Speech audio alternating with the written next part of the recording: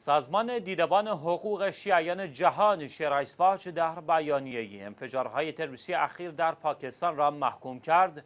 و از دولت این کشور خواست تا به وظیفه قانونی خود در تأمین امنیت شیعیان عمل کند و عاملان این جنایتها را به محاکمه بکشد.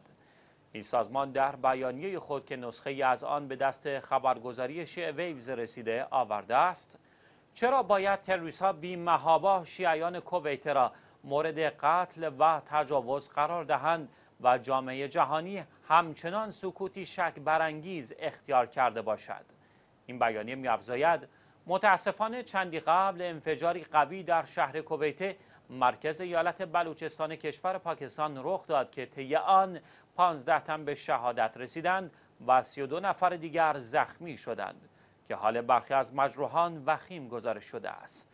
در ادامه این بیانیه آمده است به گزارش رسانه های پاکستانی این انفجار در منطقه پشین استاپ شهر کویت رخ داده و عامل آن یک تروریست انتحاری سوار بر موتورسیکلت بوده است گفته می شود شهر کویت به علت وقوع انفجارهای قوی و کشته شدن صدها نفر و مجروح شدن هزاران تن از ساکنان شیعه آن یک شهر جنگ زده به حساب می آید.